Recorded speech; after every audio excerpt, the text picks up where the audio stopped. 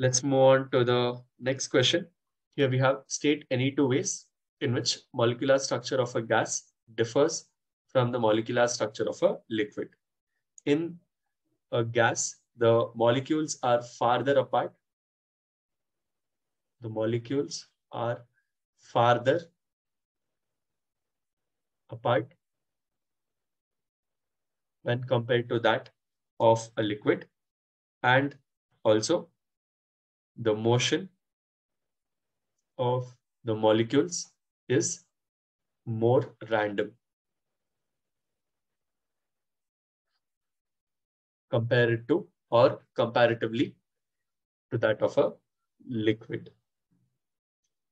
Compressibility is the ease with which a substance can be compressed. State and explain in terms of forces between the molecules how the compressibility of a gas differs from that of a liquid. It is obvious from the definition that gases are more easily compressible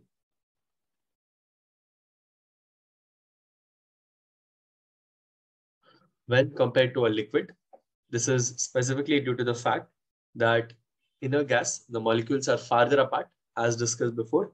And it, it is due to this reason that the intermolecular forces between the gas, between the molecules in a gas are very weak.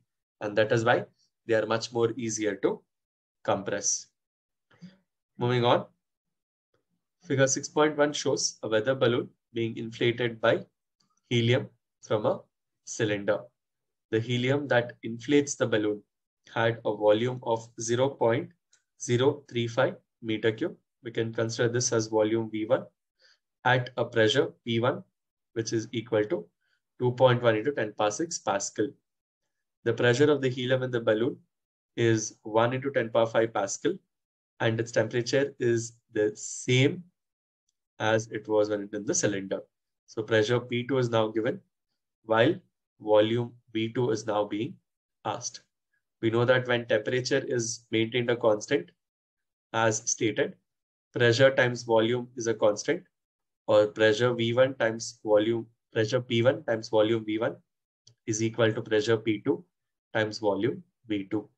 So written in terms of V2, we have V2 is equal to P1 which is 2.6 into 10 to the power of 6 Pascal times V1, which is 0.035 meter cube divided by P2, which is 1 into 10 to the power of 5 Pascal. Now we notice that pressure has decreased. So in consequence, volume should increase and it increases to a value of 0.91 meter cube. Moving on.